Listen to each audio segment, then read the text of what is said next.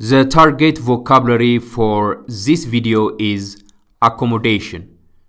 ይህ ቃል በአማርኛ ትርጓሜው ምንድን ነው?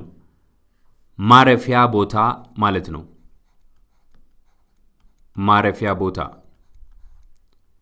a room or group of rooms የሚል ደግሞ የእንግሊዝኛ ትርጓሜም ይኖረዋል። okay አንድ አረፍተ ነገር እንመልከትና በውስጡ ያሉ አዳዲስ ቃላትን ደግሞ እያወጣን ለማጥናት እንሞክር። ኤግዛምፕል they were they were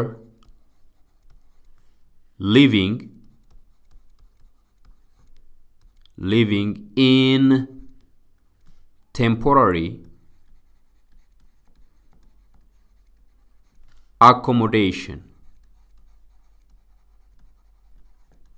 okay so አዳዲስ ቃላቶቹ እነማን ናቸው?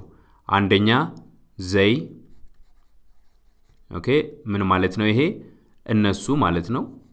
እሺ ሁለተኛ were were የመሆን ግስ ነው። okay የመሆን ግስ የ are past tense ነው። alright so living main verb ኡን እንወስዳለን።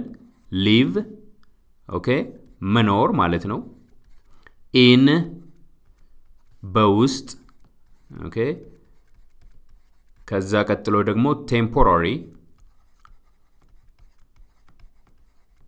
temporary ጊዜያዊ ማለት ነው።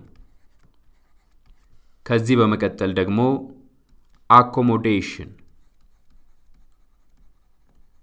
accommodation ይሄ እንደተናገርኩት a room or group of rooms group of rooms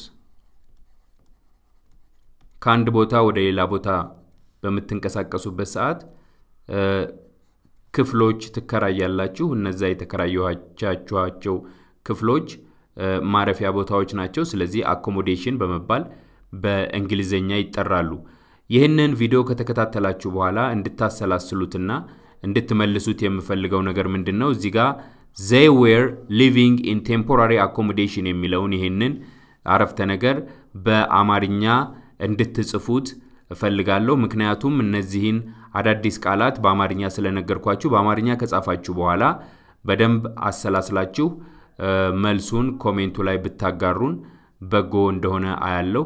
ከስር ደግሞ like በማድረግ ቪዲዮዎቹን ለሌሎች ልጆች ደግሞ share በማድረግ እንዲደርስ ብታጋሯቸው ጥሩ ነው የሚሆነው። በሚቀጥለው ደግሞ ሌላ ቃል ይዤላችሁ እስከምመጣ መልካም ቆይታ ይሁንላችሁ። ቻው